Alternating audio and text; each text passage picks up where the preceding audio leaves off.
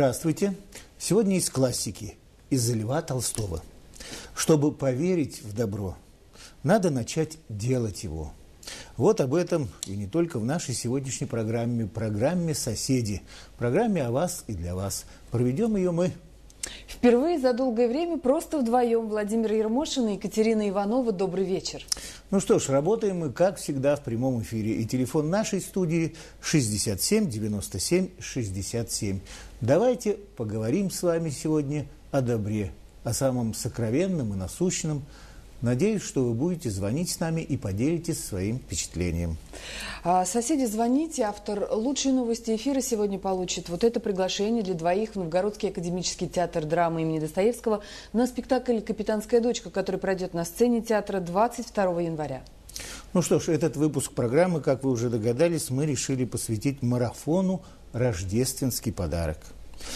Рассказ о тех, кому нужна помощь и поддержка, начнет Максим Широковских.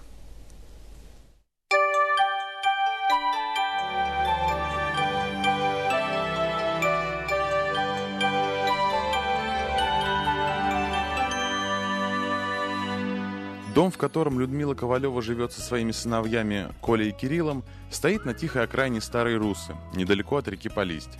В таком месте беззаботно бы растить и воспитывать детей – но у Людмилы Павловны существует множество забот, которые не позволяют ей отдавать все свое время детям. Этот дом для нее отчий, здесь она жила еще сама, будучи ребенком. Была жива мама, родители, муж был.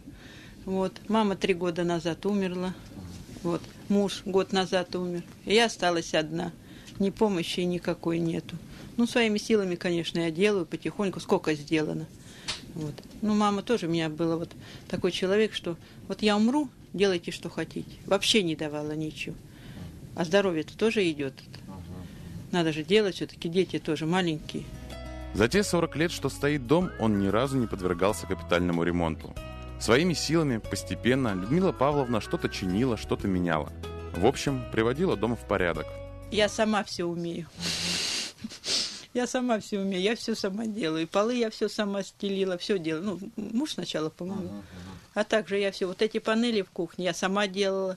Только вот сантехнику привели, вот начали, что ну туалет-то надо и теплый, надо понемножку делать. Оба сына Людмилы Павловны инвалиды. Десятилетний Коля по зрению, трехлетний Кирилл не ходит. На момент съемок младший находился в больнице на лечении. Старший сейчас третьеклассник одной из старорусских школ – Несмотря на проблемы со зрением, мальчик хорошо учится в школе, занимается спортом и танцами. В следующем году Кирилл хочет поступить в кадетский класс. Недавно их мама и сама заболела, перенесла тяжелую операцию. И сейчас занимается оформлением инвалидности. К сожалению, одного желания создать уютные условия для своих детей недостаточно. Необходимы средства. На какие-то этапы ремонта хватает, на какие-то нет. Например, срочного ремонта требует текущая крыша, а также существует острая нужда в душевой кабине. Мне вот ничего не надо, я сама все своими силами сделаю. Мне надо вот крышу покрыть, потому что она очень дорого. Мне не что вот течет, вон все вон течет. Я даже не стала делать потолок, прям вот струей. Вот и вот кабину душевую поставить, чтобы действительно детей, ну как, поставить туда, чтобы помыть, чтобы тепло было им. Вот. А больше ничего не надо. Я все сама сделаю. Ну ничего, справляемся. Что ж, как Надя говорит, нос кверху и все хорошо будет. Все будет хорошо. Только надо верить. Благотворительный марафон «Рождественский подарок» – это сказочный шанс для семьи Ковалевых обрести прочный, надежный дом, где они и дальше будут противостоять всем жизненным невзгодам. Давайте подарим им эту надежду на лучшее в наступающем году. Для этого необходимо сделать звонок на номера телефонов, которые вы видите на своих экранах. Всего один звонок может сделать чью-то жизнь уютнее и счастливее. Не упустите этот шанс на маленькое чудо.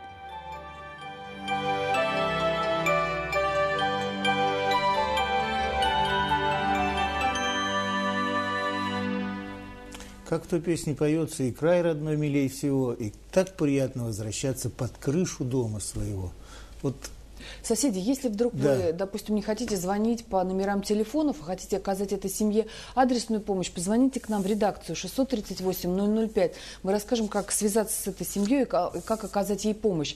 А, наш канал уже не первый год, и программа «Соседи» тоже активно в этом участвует, а, принимает участие в благотворительном марафоне «Рождественский подарок». Мы рассказываем о семьях, которым нужна помощь и поддержка. И наш канал в течение целого месяца размещает у себя вот такую интерактивную систему голосования. Несложно сделать, выбрать номер телефона, соответствующей сумме, которую вы хотите пожертвовать, и просто сделать один звонок. Обращаю ваше внимание, что сделать это можно только со стационарных телефонов, домашних, так называемых. И потом вам просто придет отдельный счет, который нужно будет оплатить. А следующий адрес беды, как называют это во время благотворительного марафона, адреса тех, кто нуждается в помощи и поддержке. По этому адресу выехала съемочная группа во главе с Кристиной Масальцевой.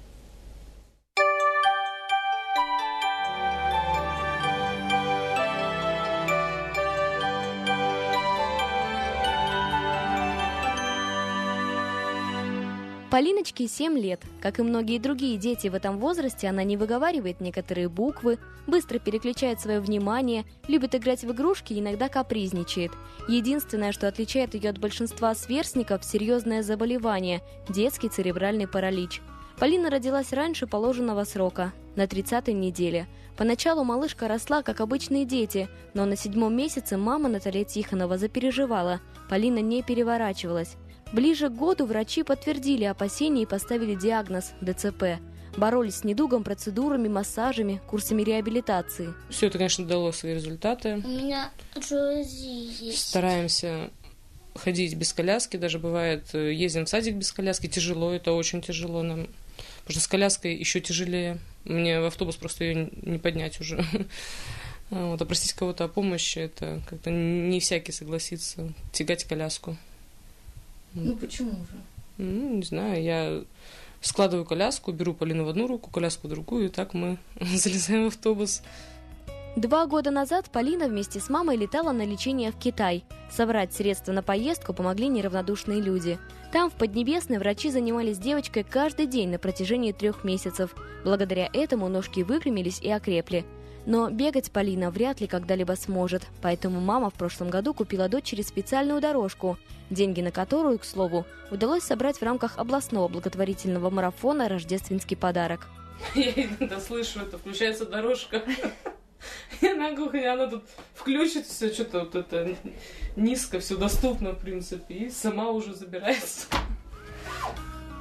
Полина все старается делать сама. Сама включает воду в ванной, сама моет посуду. По возрасту она должна была пойти в школу в этом году, но мама решила, что нужно еще немного подготовиться. Сейчас девочка ходит на дополнительные занятия, учит буквы, цифры, рисует, занимается лепкой, вокалом. Песенки какие знаешь?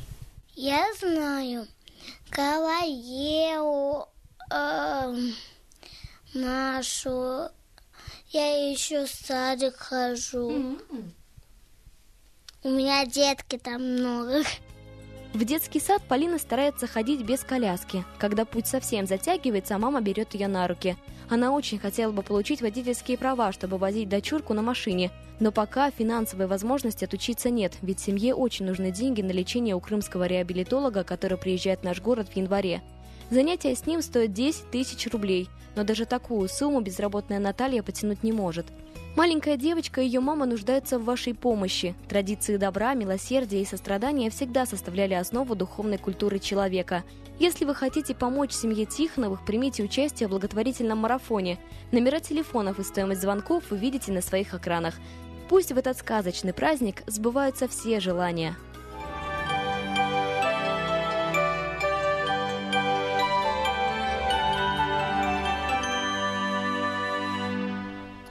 Как кто-то написал, я помню, когда болеют дети, страшнее нет беды. Отдал бы все на свете за поворот судьбы.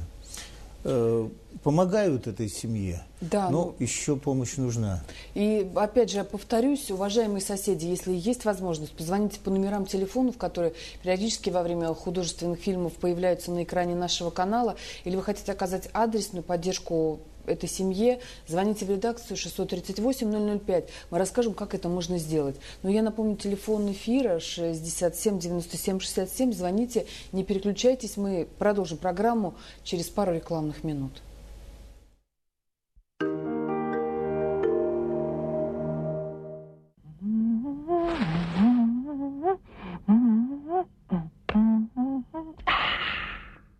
Магазину «Саламандра» 20 лет. Скидки на обувь от 30 до 70%. При покупке одной пары обуви шампанское в подарок. Магазин «Саламандра», улица Большая Московская, 18. Модельное агентство «Анна» приглашает девочек от 6 до 11 лет на отборочный тур конкурса «Мини-мисс Великий Новгород-2017». Справки по телефону 78 28 78. Информационный партнер «Новгородское областное телевидение». 16 февраля. Филармония. Трио выдающегося пианиста Джона Дэвиса. В программе «Джаз объединяет континенты» авторские пьесы и известные джазовые мелодии. Гранитный памятник с оформлением за 9 900. Данила Мастер. 928 300. Прямой эфир программы «Соседи» 67-97-67, телефон эфира. Звоните, делитесь вашими новостями, может быть, вашей точкой зрения на то о благотворительности и о добрых делах. Напомню, что марафон «Рождественский подарок» завершится через неделю, 26 января. Об этом обязательно расскажет Новгородское областное телевидение. А сейчас еще один адрес беды. Это люди, соседи, которые живут рядом с нами и которым, возможно, очень нужна помощь кого-то из вас.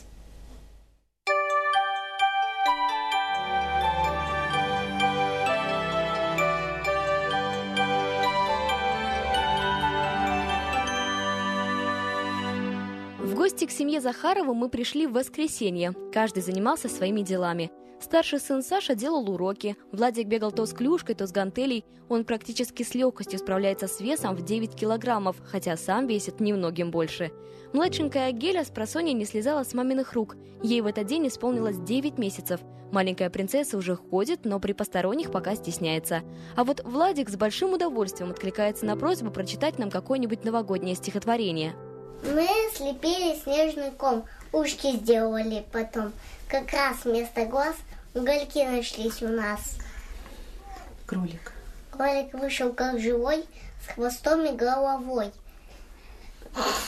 За усы не тяни и соломе на коне. По словам Влада, стихотворение он выучил самостоятельно, пока мама была занята сестричкой, а папа был на работе.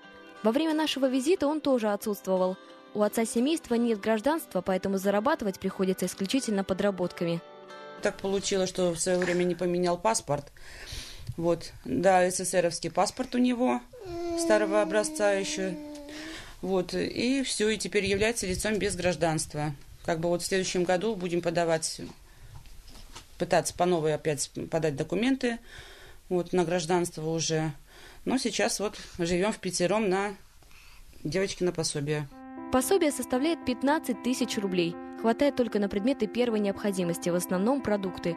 Одежду и обувь часто отдают друзья, знакомые. «Живем хорошо, дружно», — говорит Ольга Захарова, только вот без бытовой техники, как без рук. Стирать приходится самой, машинки нет. Пылесос старенький Урал 80-х годов. У нас еще газовая плита сломалась на общей кухне. У нас же вот как бы получается общая кухня, где мы готовим. Вот, а плита сломалась уже три года назад, поэтому готовлю я на электрической плитке вот здесь вот э, у нас в прихожей. Хотя бы бэушную какую-нибудь, потому что, ну, свет мотает, за свет платим много. Очень. У Захаровых есть мечта – переехать со своих 16 квадратных метров в большой загородный дом. На средства материнского капитала семья даже приобрела участок 50 соток с постройкой. Но чтобы жить в ней, нужно еще очень постараться. Отремонтировать крышу, перестелить пол, сделать ремонт. Пока на все это нет ни сил, ни возможностей. Помочь многодетной семье по силам каждому из нас. Традиционный областной марафон «Рождественский подарок» ждет вашего участия. Если вы хотите подарить кусочек счастья семье Захаровых, позвоните по номерам телефонов, которые вы видите на своих экранах. Сделать доброе дело хотя бы раз в году может каждый из нас.